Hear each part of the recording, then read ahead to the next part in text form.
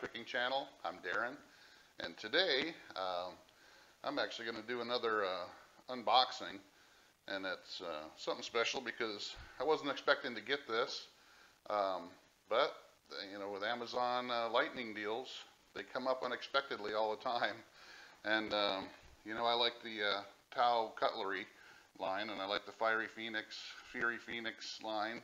Got a few of their knives already, and um, I've been looking at the Damascus steel uh, chef's knife, you know, drooling over it. It's only $80, so it's very, very inexpensive for a chef's knife. But I happened to come up on the uh, Amazon Lightning deal yesterday.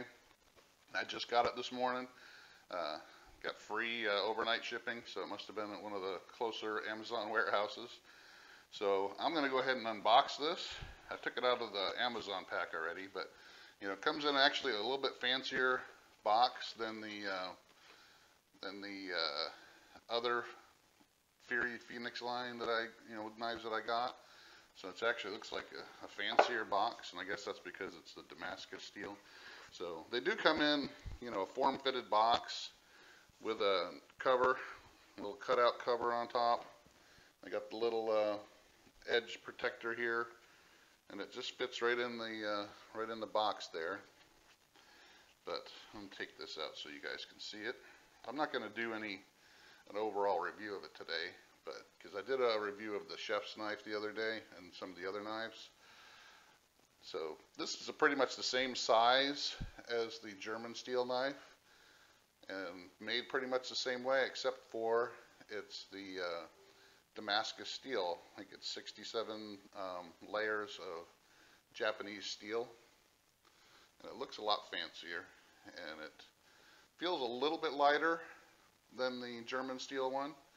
Um, the balance is pretty much the same. It's the, it's the same uh, as far as it goes through all the way through the wood. So it's one single piece with the wood covering it. Same thick handle that I like in this line of knives. So it's uh, very nice. It's got the stamp on the end of the knife like all of them do. But I think this is going to add to my collection. I mean, this is a pretty, pretty looking knife. I'm going to bring it over to you a little bit closer so you can see it a little better.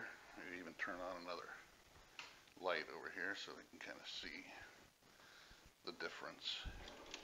This is the uh, Damascus, and this is the regular German. So if you can see those two, difference in those two. Damascus is a lot shinier. It's supposed to be a lot harder steel, and it is. So a little bit lighter,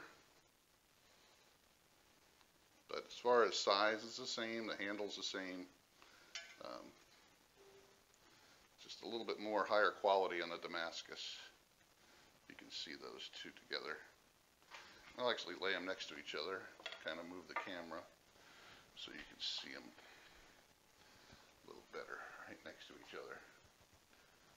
But if you see that um, difference right there. So for $55, that was a super awesome deal that I could not resist.